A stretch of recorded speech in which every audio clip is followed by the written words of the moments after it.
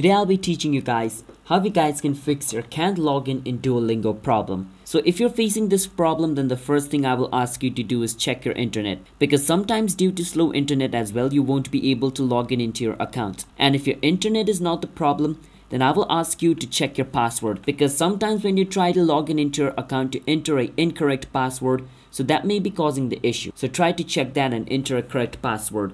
And if your internet and your password is not the issue and you're still facing problem logging into Duolingo, then I will suggest you to delete Duolingo app and re-download it again. Cause sometimes due to a problem in the app it causes the problem. So deleting the app will basically delete the problem and when you reinstall Duolingo app, you will be downloading the latest version of Duolingo which means the problem would have been fixed so you should be able to log in into your account. And if you're not able to log in into Duolingo app, you can always open your browser and on your browser you can search for Duolingo login. Once you search for Duolingo login, click on the first option. It'll take you to the login page of Duolingo.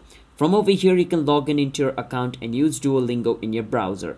So these are the method and how we guys can fix this issue. So if you guys found our video helpful, hit the subscribe to our channel one step. I'll see you guys next time.